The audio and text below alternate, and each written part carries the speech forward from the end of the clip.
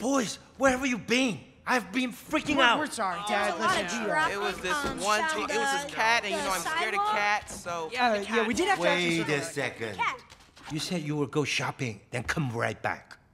Where were you? Oh, uh, let me Nothing. Look, we're really sorry, Splinter. Some of the guys want to see a movie, and I try to talk them out of it. Leo, Are you What? You watch a movie with a humans? Ugh. You ratted us out. Hey, don't use that word that way. Was. I mean, it's that was Sorry, Dad.